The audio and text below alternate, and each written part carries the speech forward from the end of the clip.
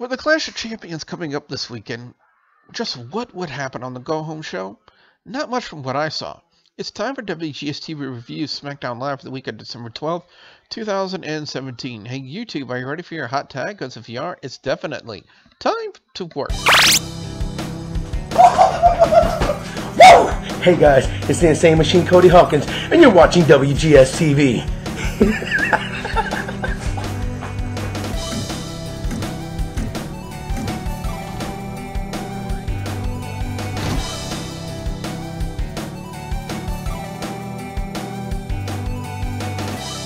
guys, I'm the Wrestle Gamer. Welcome back to another episode of WGS TV right here on youtube.com slash WrestleGamer. I want to start off by saying this.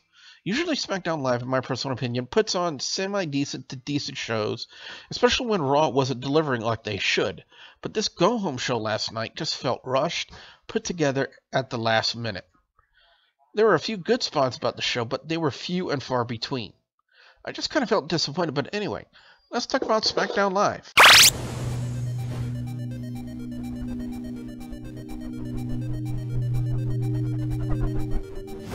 Styles would open up SmackDown Live talking about his upcoming championship match with Jinder Mahal this Sunday at Clash of Champions, and I do promise to have a preview video about the Clash coming out later this week when the Singh brothers would come out in a lame attempt to convince Styles that they were done, and I honestly don't know what was more obvious. Samoa Joe in the bar in the opening segment of Raw Monday night, or the Singh brothers, because honestly, they weren't selling it at all. The former WWE champion would make his appearance just to see Styles beat down both Singhs and throw them out of the ring. I'm glad that this was the opening segment because if this was the main event segment, it would have been a lame ending to SmackDown Live this week, but instead, it was an okay opening for what it was, but I did expect more since, since this was all about building up the WWE Championship match at the Clash. I'm going to give this a 2.5 out of 5. Opening match this week was Charlotte taking on Ruby Riott with Natalya on commentary. With this being the go-home show for the Clash of Champions, I was wondering just what would they do to help push the angle with Charlotte and Natalya for the SmackDown Women's Championship and the Lumberjack match. I didn't think that they would have Charlotte lose and look bad going into the pay-per-view, so they would have Natalya attack Charlotte to end the match and a disqualification. However, the Riott Squad would attempt the same thing uh, to that they did to Charlotte that they did to Naomi a couple of weeks ago, which screamed return and save, which is what Naomi did. Uh, and as the Riott Squad was on stage in retreat, rest of the SmackDown women's locker room, i.e. Tamina, Lana, who looked really hot in her ring gear, and Carmella, would get a measure of revenge on the squad to end the segment. An okay match for what it was, 3 out of 5. Up next it was Dolph Ziggler taking on Baron Corbin. First thing to mention is it appeared that WWE is dropping the entrance angle with Dolph because he came out to his full theme. Second thing to mention is that they had Bobby Roode out there on commentary to what I initially believed put over the United States Championship triple threat match for the Clash this Sunday, but instead they had him go in there after a very short match to attack both Dolph and Corbin to end the match in a no contest.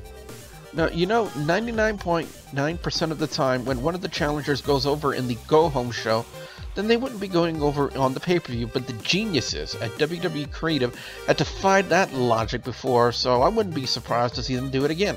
But I'll talk more about that on the preview video I promised to have coming out later this week. My only gripe about this is how short the match was, because I know Roode is a great talker, and they could have had him put over the match just a bit longer on commentary during the match before doing the run-in. That's my only gripe.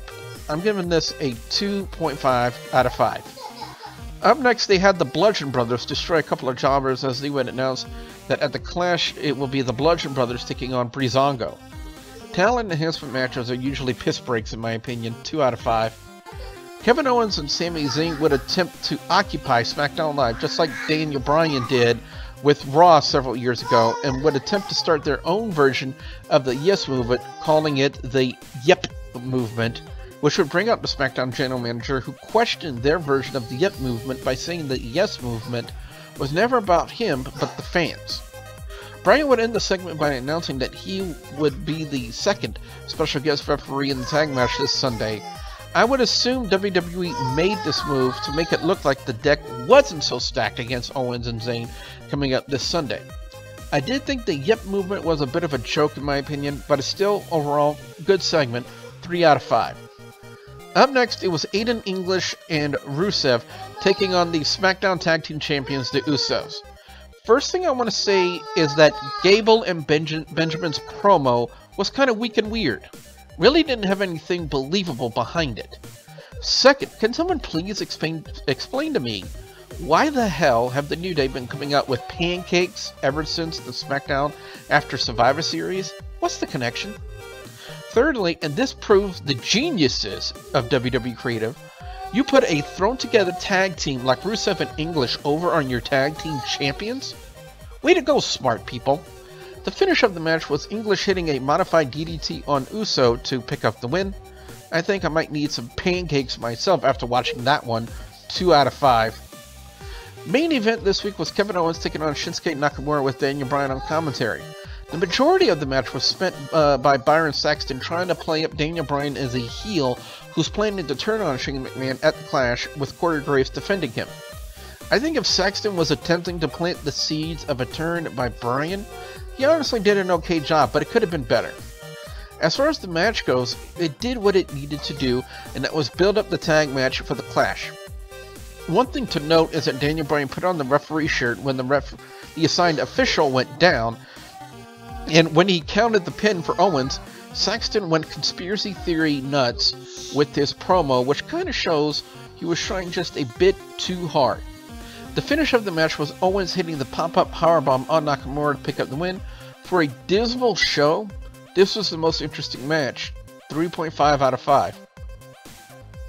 Overall score of SmackDown Live this week gets a 2.5 out of 5, with best match of the night going to the main event, with worst match of the night going to English and Rusev versus the Usos. I totally disagree with the outcome of it. Why put together a why put a thrown together tag team over on your tag team champions? You just make your tag team champions look weak and make them look bad. Again, that's a move that I 100% disagree with. But anyway, guys and gals, that's been my thoughts on SmackDown Live this week. What I want to know from you guys out there, the viewers and subscribers, your thoughts on SmackDown Live. What are your overall scores? What are your picks for best and worst match or segment of SmackDown Live this week?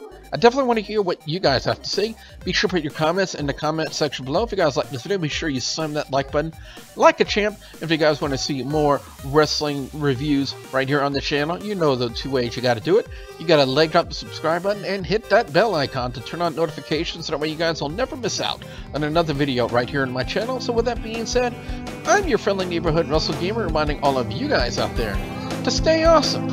Bye guys!